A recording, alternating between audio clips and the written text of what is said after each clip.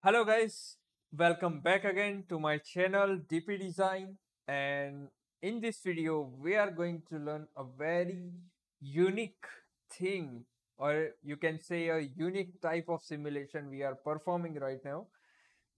So as we have seen our thumbnail, what it is written, it is actually saying that if you have done the CFD on the turbocharger then if you want to take that output as an input of the FEA so that you can do the product testing, you can do the fatigue simulation, you can do the frequency or model analysis, whatever you want to perform, you can perform in FEA. But how to do that? As you can see, we have this model, uh, this turbocharger model this turbocharger model we are selling right now and you can buy from us. You can dm us on instagram or you can dm us on our mail as well. You can request for this cad model and we are offering the offering the discount for the students only. For the industry professional it is there is there will be no discount. So let's get started with the basics how we have done the cfd what kind of uh, a procedure we have to follow for uh, combining the cfd and fea results. So let's get started. So as you can see we have applied the rotating regions over here. This one which is uh, having the value in the radian per second. And we have an inlet mass flow which we have calculated already and we have our environmental pressure. So you want to perform the FEA simulation on that by the fluid pressure, whatever is coming the flow and going through the your housings. So that you have to perform that it is actually uh, having the uh, good life or not with the fatigue testing or static simulation you want to perform. So we have calculated our CFD. As you can see, we have uh, done the solving process, which is our telling that uh, solver has been finished now and log is here. Yes. So my goals are has been converged and calculation has been finished. And as you can see, we have done one uh, trajectory as well. Now, if you go to this, then you can go to the project directory. These are our CFD results which we have already calculated. You can select the, any parameters to calculate and whatever the directories where the uh, results are going to be saved, you can open that directory by selecting on the on the projects which which is our 200 name and you can do the open project directory here. As you can see, my path has been displayed over here and as you can see fld file is there my geom file is there std out is there and back file is also there and date file is also there. Yeah so now my goals has been converged and also goal data file is there for the this uh yeah. Now what does it mean? If you are going to perform an perform an fea simulation what it will tell. Uh, let's go to into the uh, static simulation. Then we can understand what it requires actually. So we are going to new study and we will select the static simulation for now. So as you can see there is a convert toolbox fastener to bolt connectors. Yeah we have already applied the bolt connectors in the assembly so it is asking that uh, if you want to convert or not. I am uh, checking i'm not checking the uh, boxes over here and naming it as a turbostatic.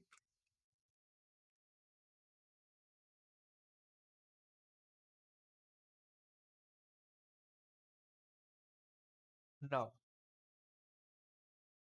i will hide this. Not top down assembly.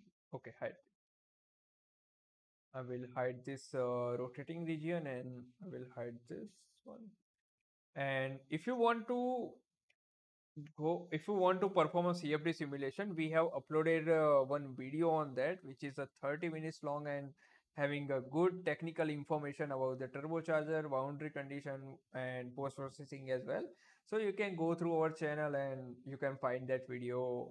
And yes, at the end of the video, we will attach that link as well. So you can go through that.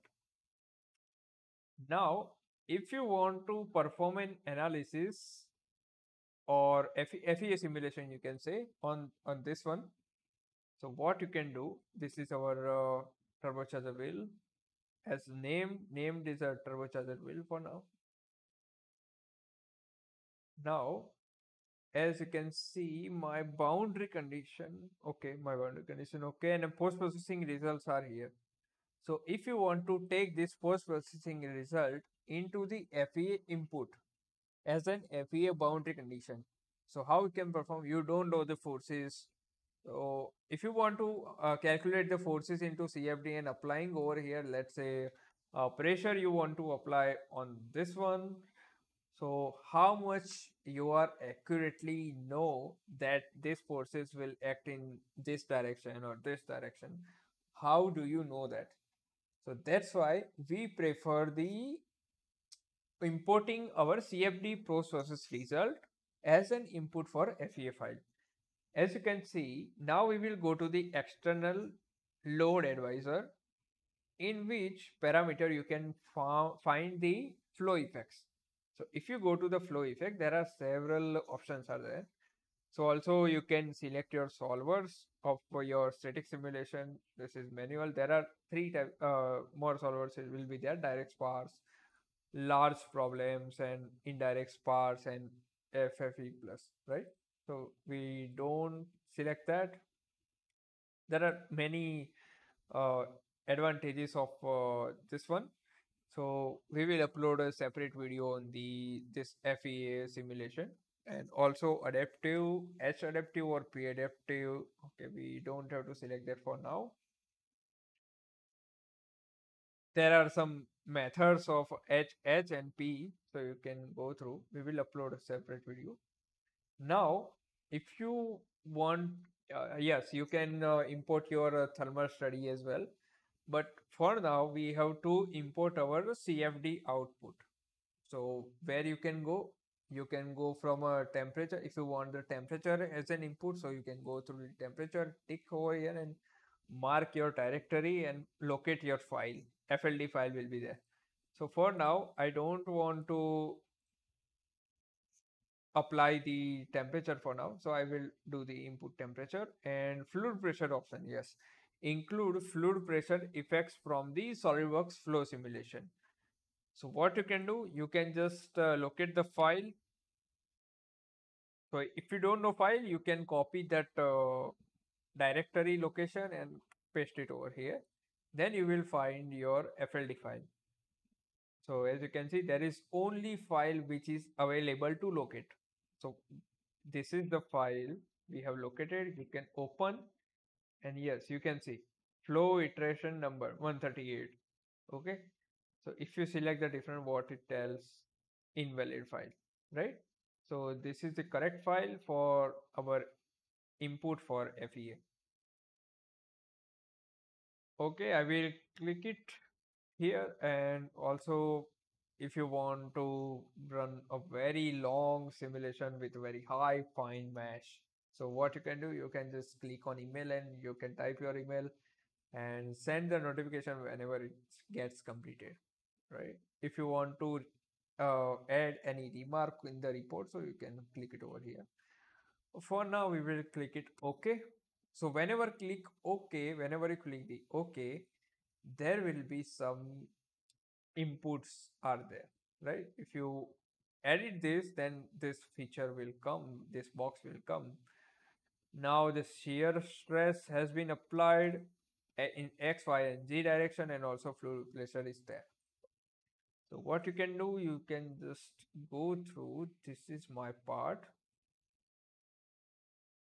I will make it in a new folder. Say, now I will exclude this part.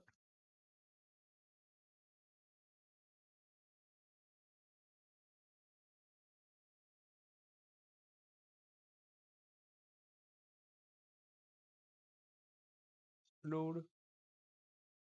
This will be exclude. My leads are not that. Okay, exclude in the part.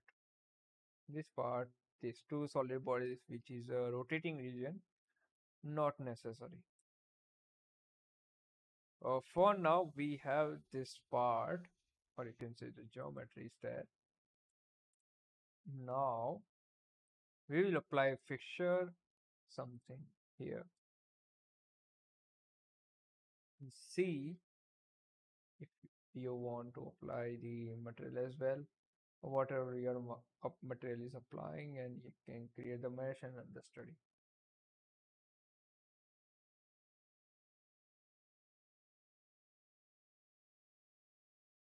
Okay, my CFD result, my FEA result is running.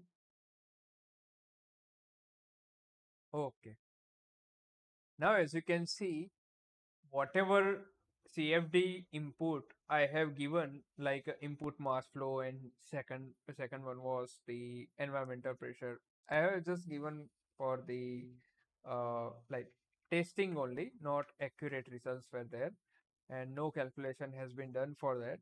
I am just uh, giving the example due to the fluid pressure or due to the shear stress in the fluid, these results are coming. Like the stress is generated due to that. So that CFD output works as the FEA input.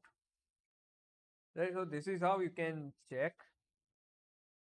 So if you have an accurate CFD input and accurate CFD output, so you will get the better result in the FEA simulation.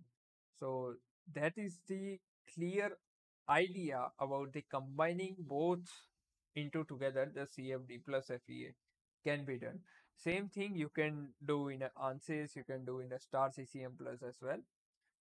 And also the Abaqus has the ability to do that, right? So that's all for a video. And if you like it, then like, share, and subscribe. Thank you. Keep learning, keep sharing. Thank you so much.